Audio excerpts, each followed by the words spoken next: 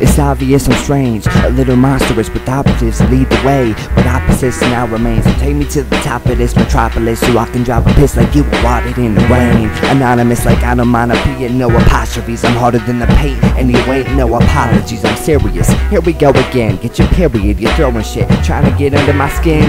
Let you have it, flip it to you like it was gymnastics. Average doesn't cut it for this motherfucker, you bastard. I'm so far past ya, I'm looking in my rear view, squinting with glasses. So ask me if I give a fuck. Give a what? I don't remember. That's what I said to the cops after I stole your bezel. Yeah. What's up, Manny? Much love. You little something something for you haters.